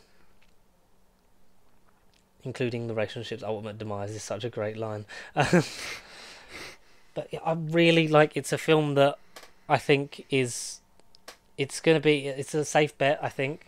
Like Multiverse Yeah, of Madness was be. meant to like be risky but like full of loads of cameos and stuff but with a Thor film made by Taika Waititi I think it's like we know what we're going to get Uh, Even though he, I read an article yesterday, he, he promised the cameos and stuff will be high, and, he, and in another bit of the article, the same thing was basically saying, although that's part of the MCU formula, will it become a bit stale? Will we expect certain cameos just to be because it's part of the Marvel experience, or?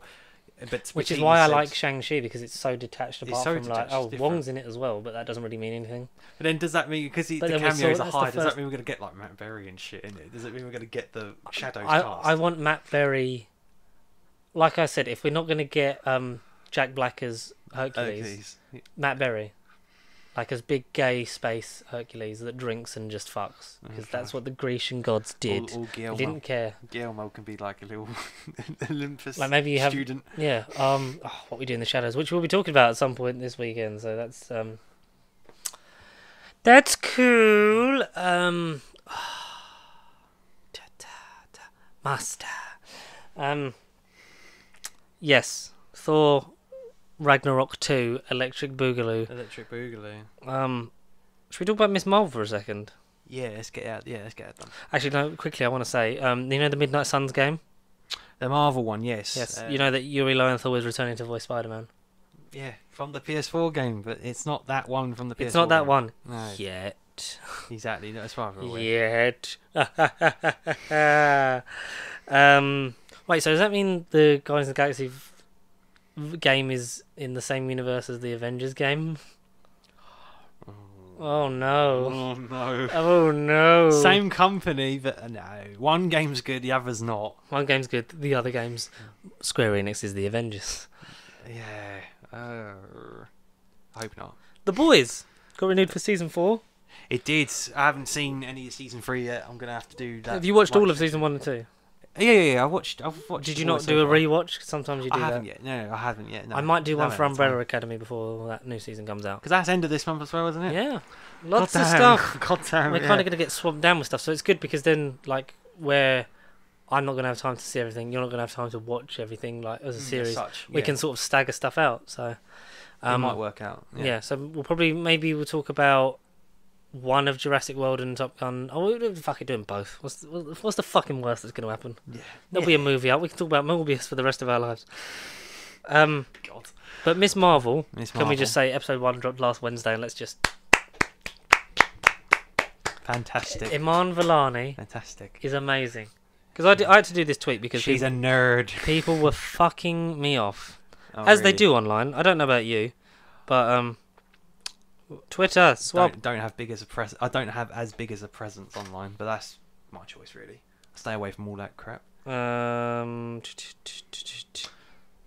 where is it? Tweets and replies.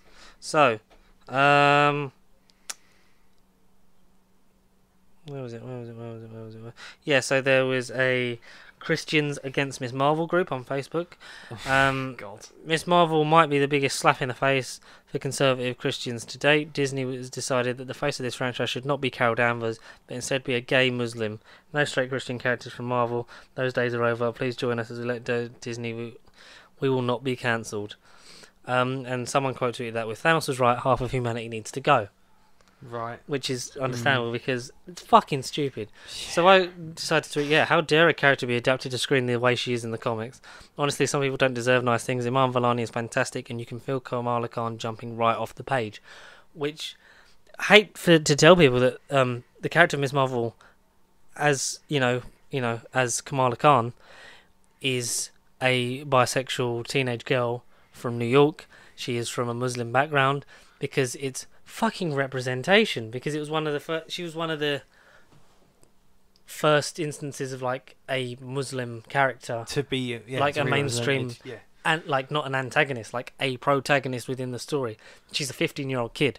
She's Spider Man levels of like, oh my god, this is so cool. I'm quite nerdy for the thing, Yeah, which you oh. got in this show Exactly. episode one, and it was great. The thing they sold the most, yeah. and Iman Vellani was born to play Miss Kamala Marvel. Khan. Like she talks about how she's had arguments with Kevin Feige, like this isn't six one six, and he's like, it is because I say so.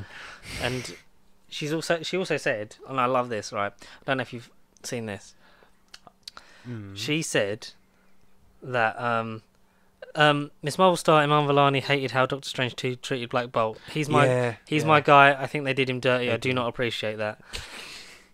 Jeez. She's a massive fan of like she's a nerd about the comics, like we are. Yeah. Like she She's born to play this role. She's absolutely fucking amazing, and um, I can't wait to see where the rest of the series goes because she was fab. Like episode one was great. It was great pacing. It set up the whole family dynamic, which was good. Um, it you know lends itself to also the bit that worked about the Avengers game, which was her relationship Her with. It was just her father in the game, wasn't Yeah. it? Yeah. But like you get sort of that similar thing of like he like loves her and like will probably end up knowing what she does, but will like Protect let her get away with it. You know, like you're grounded, but like special fine. special missions. Special kind of things. missions. Um, That's fine. I'll let you dress up as the Hulk. that was such a cute scene that then It just was. turned to, like it was just a, it was just a scene of a child and her parents. Like that's so embarrassing. Like of thing. I was like, oh, that's That's That's cutting deep. relatable. yeah. Mm. And like, so what if you don't relate to a fucking Muslim like teenage girl? Like there are more people in the world than cis heterosexual white people. Like we have had our time and our stories portrayed in film and television medium for millennia, essentially. Why is it so bad? Like I want to hear other voices and other things. of like it's course. it's a culture wind in our knowledge. it's a culture that I have very little knowledge about. Like to have even a relatable um kind of doorway into it is just something I'm like, yeah, that's that's so cool to me because then it's like I know it's not learning in the traditional sense, but it's like a this is kind of how you make it in the media, like in, having it in mainstream media, more public attention, like Yeah, yeah, you're- of course, allow- you know, allowing more people to know, that, like you know, we kind Yeah. of have some great stories to tell and some great actors and actresses that we can give to the world as well. Like it's not just this bottled up bit of culture. exactly, of course. Yeah. And so if you if you're hating Miss Marvel because um, of those reasons, um, unlucky. Um, go- yeah, no one out. asked you to watch it. Exactly. Go back to school. Yeah, go back to Go watch. back to school, you stupid weasel. Go go go, go and cry to your father, you little weasel. But yeah, Go fuck cry off. to your teacher, you little weasel. But yeah, fuck off. Iman Vellani's great. Um, I really enjoyed episode one. It Yeah, was the very much the origin story stuff. They talked about how they wanted to. Kevin Feige talks about how he wanted to bring the Spider-Man into the Spider-Verse feel of the comics, the Yeah. text bubble things off the page, which you got in the trailer, Which which, I great. didn't think was going to come into it. No. But the way the text sort of like appear in the in real the world, background and on the walls and stuff. It felt like Yeah. something from a video game, even as well. It was just very. it nice. was yeah, it was Mm. so wholesome and cute and setting up like a story that's like oh so kind of we don't actually really know where it goes because the No, only we thing we got from the trailer is she's a fan of the Avengers and she gets powers Yeah, that's all which we knew. like I like but it's also like we don't know where this is going and that's great that's great news but um yeah I loved it The Marvel line is great I can't wait for everyone to be disappointed when there's cameos that they don't get in it but Yeah. for me at the moment, like in terms of shows, two for two for Marvel so far. In terms of like, I thought I was Well, getting, for this year, is in Moon Knight and Miss Marvel. Yeah. Marvel, they're the two for Yeah. two, yeah. I like there was a point where I was like everything that was announced and the stuff of She-Hulk. I was like, maybe I'm getting fatigue and wanting to start taking breaks from certain things, but I won't because of Oh, you know no. the compulsion to do this and the fact that MCU's you know my life. I I won't. want a I- complete story. Yeah. Unless something really sucks, then I would consider it. But, But, I wouldn't. But I wouldn't be surprised if there's things that you know I'm like, mate, because that was like that with DC. I was like, I don't really want to watch that, but like I'll watch. I'll watch the Suicide Squad. I'll watch Shazam. Like I'm not bothered about Batman v Superman and all that kind of shit. Like I might start cherry picking like the best bits Yeah. if it gets to because you're if you're gonna get like fucking overexposed, Yeah. done. Mm. because that's the thing like oh this is unnecessary having like um a joke like people like Joker two is unnecessary and then quote tweeting it with the like Marvel slate like I get it like I don't dislike Marvel for that there is like a bit much and it's like with last year's watched WandaVision um Falcon and Winter Soldier she went to watch all as one but has sort of dipped in and out of the shows and the only one she came back for fully was Hawkeye because for her it was like it's real world it links to it it gave her Daredevil vibes so it was yeah, of course. a draw yeah. into it because there is so much of a plethora not just in the MCU because everything's almost canon in the MCU now so like Yeah. Yeah. there is so much to draw off of so there is a lot you can leave and leave at the door but this is one of the things I was excited for that I think has surpassed my expectations so far like Moon. Knight I was like always like that's a batshit character I never thought we'd get I'm looking forward to it Miss Marvel was like a oh that seems like it's the right kind of time but it was uh, yeah I'm excited for it I'll watch it but now I'm Oh, like I oh, cannot it's- wait you for every cannot wait. Wednesday Yeah. it's something great, and She. Hulk's one of the things that I'm like, maybe I'll kind of watch that all at once at the end. I don't know. Maybe just give myself a little break. But um, per- perfect, perfect, perfect. Um, Yeah, we'll see. We'll see. we shall see. About just like we shall see that apparently um, Amber Heard will be removed from Aquaman 2, Yeah. and then her legal team come back and saying that that's not true at the moment. But you know, oh, wouldn't be surprised if it another, was. another trial. Um, fuck that. I read. Yeah, I read that literally on the way here. that there might be yeah, another trial for like, ugh. someone else for Jodie, but she was like a um complaining about the people she like brought out like they were just like randos like yeah because Kate Moss is just a random person Exactly. You Insignificant. fucking idiot um and Ezra Miller has been um accused Oh, of yeah. supplying um a minor with alcohol marijuana and LSD Again. individual parents state Ezra uses violence intimidation threat and vo- threat of violence fear paranoia delusions and drugs to hold away over an ad- to hold sway over uh, adolescent to Carter, which I'm assuming is the young person's name. Yeah, um, must be, must be. Um, But god damn it, Ezra. dismantled the DCEU, I think. Um, Yeah, just what are to they make doing? Suicide Squad movies with James Gunn slash Peacemaker shows, Shazam movies. Because Have we got go- the Black Adam trailer, and that I was just seen it. Yeah, but yeah, I just didn't watch it. Not no reason. I just hadn't genuinely watched it. I've missed Still it. haven't. But then if you watch it, um, Mm. it's just got things from every other trailer. So Oh, okay. Oh, the okay. jet scene from Iron Man One happens, Oh, right. and yeah. the, and the Rock just like the flying looks shit. Does it. Mm. Um, Doctor Fate looks great because I, yes, lo- I love the fact that the we're trailer, getting yeah. a antagonist, basically a Avengers movie, but from Loki's point of view, villain's point of view. Yeah. essentially. Mm. Um, I can't wait because Zachary Levi's been talking about how like, like obviously can't wait for it and how we like you know face off soon kind of Yeah, thing, I know, like yeah. alluding to because we know that eventually Black Adam and Shazam will fight each other because it's just evil yeah. Shazam. But yeah, things like just to make the good stuff. Get rid of if you're gonna. I don't know. I feel like the DCU is just It's- circling the fucking drain at this point. But um, we shall see. Shall I end with a thing? I got two more things, and then we can sort of, you know, I don't know, gossip about Kenobi a bit more because we kind Gossip of there. glossed over it. Um. So Mm. two people that have roles in Right. HBO's The Last of Us. Do you know who they are? What? Um, uh, Pedro Pascal and the girl from Game of Thrones. I can't think of her name. Bella Ramsey. Ella Ramsey. Bella Ramsey, yeah. Bella Ramsey. Yeah. So um, two people that have parts are Troy Baker and Ashley Johnson. Oh, they're they're in it. They both have Yes. roles in The Last of Us TV show. They're actually in it. Hmm. Yay! I And mean, so Pedro Pascal as so Troy Baker could be Pe- Joel's brother who dies at the beginning. Risen out of the blue, all cousins maybe, maybe I don't know. and then the and then the. the I, woman could I like that because it sort of is the you know this came from the game, so this is how you know. The girl can be the girl that you follow in the game. Um, the one that Joel, Joel likes in the game. Oh, her, yeah. Um, I've forgotten. her. I've been so long since I I see- Last of Us. yeah, I haven't touched Last of Us in ages, but yeah, the woman that is kind of the central character in the plot between Ellie and Joel. There's that woman who. A woman. A woman. She could be A a woman, Matt Smith. What happened to time? What happened to time? A woman. Um, I'm kind of gutted that Matt Smith wasn't the announcement because everyone was like, "It's Matt Smith, it's Matt Smith," and it was like, "Oh, it's not Matt Smith yet." Because there was, uh, so I saw there's a lot of you know the fake showbiz article things on um, Twitter, Mm. and one of them that was um, breaking news: Matt Smith cast as the voice of Beep the Meep. Um, in an interview regarding this casting, he said, "You know, I played the Eleventh Doctor, right?" oh, so that's why I got beep the me, Because you know I was the 11th Doctor, right? But, yeah, um, of course. So this person tweeted yesterday. Um, so take this with a huge pinch of salt because this is from the DMs of Twitter that someone posted the screenshots. Like my reliable, basically said like my reliable sources said this, but they blacked out their name and stuff. Um, so um, and there was comments on it that were like, you know, is this reliable? Is this real? Some of this stuff has maybe been heard before on Reddit things and rumors. So it might just be taken from bullshit. It might be real, but um, they said. regards to Doctor Who, be ready for several announcements in the near future, not just tonight's. All I'll say is Talalay isn't the only one returning from Moffat's era. mm-hmm. Here's an interesting thing. Oh, here's, sorry, here's an interesting thing I'm hearing.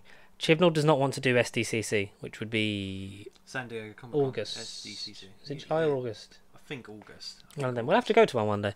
Um, so obviously because October is the hundredth anniversary of the BBC, Yeah. but they've been rumored that November, around the anniversary time, will be a when the Doctor Who Yeah. special airs. Makes sense. Um, he flat out said no. The BBC want him to do it, but um, he's refused to go. Right. Um, Mm. so apparently Russell has been offered the slot so that he can promote the 60th and his return era. Mm. Um, But he and he apparently he's very keen on doing it. So next month could be we could end up getting a lot more info on the 60th. People like Jodie, Mandip, and John want to like go out there and you know promote their last hurrah. But Yeah. the rumor is that Chibnall's kind of just like I kind of want to just get it out there, get it over with, kind of thing. which is a shame, but doesn't- Mm. Which seems like it could be real, but also he was such an advocate for SDCC the last few years, so that might just be bullshit, and he just mouth, hasn't had yeah. time.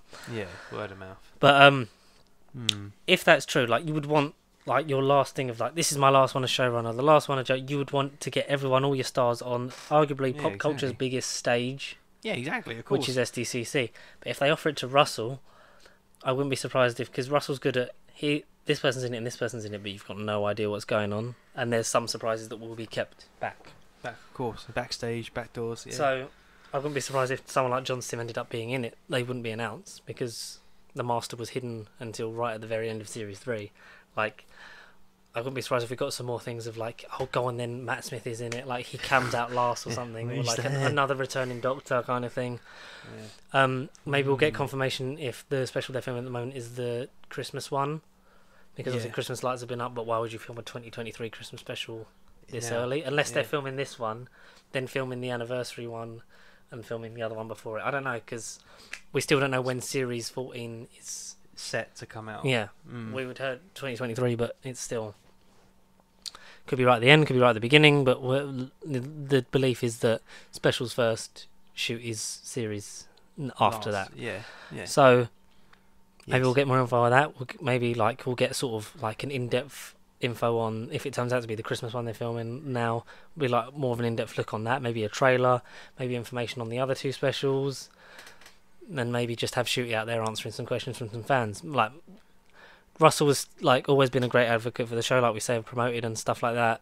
But like he's and people are like, why is he you know, promoting his show? But a lot of people have said like, well, this current production team haven't really bothered to market their version, so why should he not utilize you know social media in general and the attention of the fans because everyone's hanging off his every word because he made Doctor Who what it is and he's giving it global appeal again. Exactly.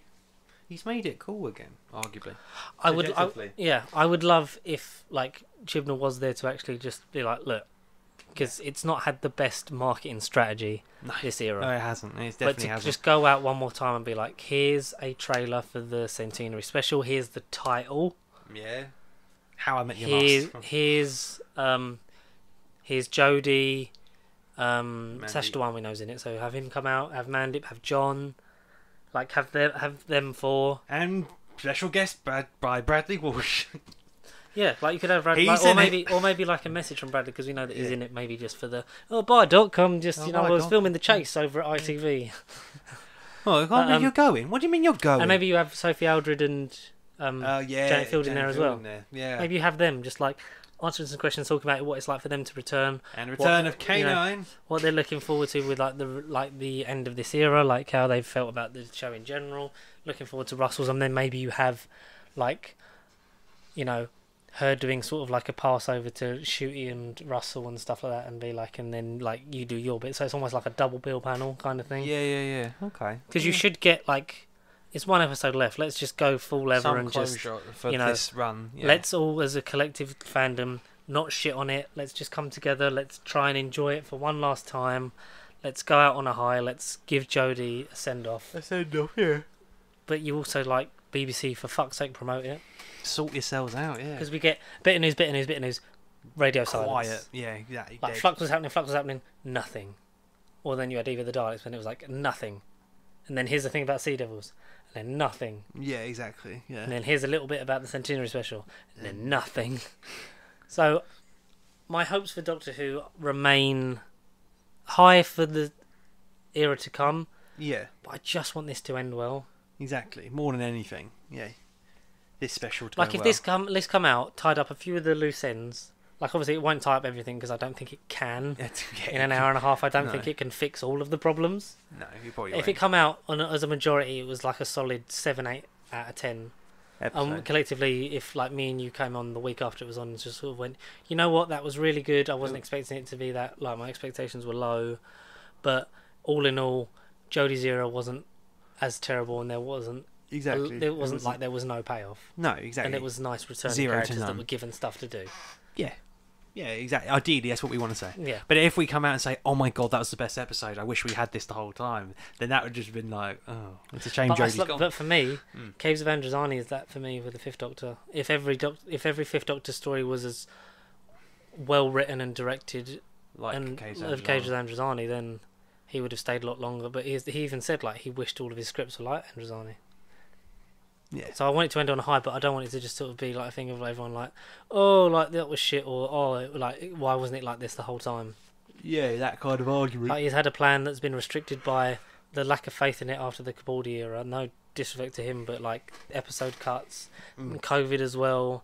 You've had bigger gaps in production time, so it's not been consistently in the public eye. So it's been an uphill battle. That some of that he's contributed to himself. Yeah, of course, of course. But all in all, I think Chris Chibnall is a quality writer, but I just don't think sci-fi is where his heart is. Heart lies, yeah. Like he's really good at dramas that have the entrappings and stuff like that. So it's almost like he wrote Doctor Who like he would A write a drama. Broadchurch, but it's just got the entrappings of a sci-fi within it. And Yeah. some of it he's done really well. Like he's written, like people will argue about it, but I, I think the big. Well, technically the big four, because if you count Sontarans as like a fourth place kind of thing, like the big four villains he's written very well. yeah. No, the villains are probably like more so for the best Sontarans thing and more of the. Sontarans, but um, yeah. you know, the Master, amazing, like done really well, and a great casting of Sacha Dhawan. The Daleks made um, more terrifying again, and giving them more horror aspects back, and Yeah, proving yeah, that yeah. the mutant is the scary thing. But when one of those gets in its armor, then you're fucked, kind You're of thing. fucked. And the Cybermen, like Ashad and the Lone Cybermen, I hope that doesn't all get shit on by him returning, but like that was a really good interpretation of the Powerful, Cybermen. Yeah. Powerful horror, sort of very Mary, Mary Shelley esque with the way he was introduced and Mary Yes. Frankenstein inspired. It was, it was amazing. I, I really did enjoy it. Mm. Um, you know, we've spoken about this era in length. We kind of let Will ramble on about it like Yeah, not that long yeah. ago. So um, hopefully we'll get a plethora of guests for the Doctor Who centenary special. But um, there's some people I, w- I do want to hopefully get involved with it. Not just our returning friends, but maybe if we could, maybe Dom, maybe Guy, maybe. Billy, maybe some other people we can sort of rope into something, but uh, we shall see.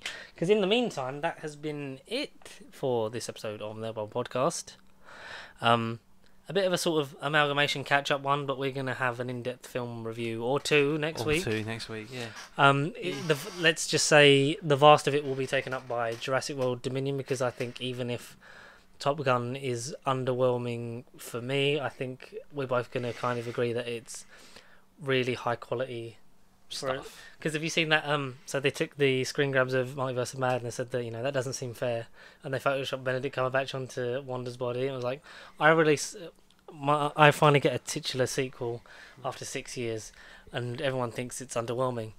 You make a leg, and then um, Tom Cruise is on Doctor Strange. What it's like, and you make a legacy sequel after thirty-five years, and it becomes highest grossing film of the year. Yeah, that doesn't, seem seem fair. Yeah, I look forward- Yeah, so I think we'll, our it will be short and sweet, but nothing to disservice Top Gun. But I think it's both both of us just going to be going like, yeah, that was really good and really fun, and the set pieces were great, and it was a like surprisingly fun movie. And I think a lot of our talk will be Jurassic World Dominion. So get your questions in for that next week. Dog you can send them to, um, nerdbiblecontact at gmail.com via electronic mail. and you can also get in contact with us through Facebook, Twitter, Instagram, and we are on TikTok. Oh, Yes, I just Oh you know so I could save the TikTok, username. So we've got. TikTok. We'll maybe I think start posting some behind the scenes stuff on there. Maybe get some things on get there. some TikToks. Leave us your thoughts on what we should do for our first TikTok. Yes. First couple. Who should we kill first? Who should we kill? Who should we generate into? E- Electronic mail, but um, yes. In the meantime, you can catch us soon. I don't know when it'll be released, but we'll have the what we do in the shadows episode that we will be um recording. I think it's at some point this weekend, so we'll be doing that. Okay. Um, so I got to buy that and watch it. So that's great news. The movie, yeah. Yes, but we're gonna. Yeah, I said to him like, we are gonna talk about the TV show, right? It's like, yeah, it's all the same thing. It's all canon. Yeah, so we'll talk about the movie. Will be the review, and then we'll be like, and I love how this has been elaborated on because the show has the same feel, and it's, it's just, it's just, oh, it's, it's, it's amazing. It's amazing. Oh, It's brilliant. Um, but yes, look for that on the Silver Screen podcast channel. As always, it's been a pleasure to be alongside Connor, Yeah, thank you. Thank and you. yes, and I am also, and I'm also here. Yeah. Um, yeah, I'm also and um, just want to say again, Connor, well done for your good news, and Yes. it means more stuff for us. Hopefully, we might free up some time for ourselves. Fingers crossed. Yes, Yeah. Hopefully, some of it can go towards you as well in your ways. in like a sexy way. He means of course. he's stripping off in as all he tells me. in all sorts He's of ways. ripping his shirt off as he looks me in the eye. Talk dirty to me. He's actually dressed as Ravager Thor. Like it's completely coincidental, but he's wearing a sleeveless Lego jacket. But he's singing an electronic version of the Toast of London theme. Quick, Oh, play the outro. Sweet toast of mine.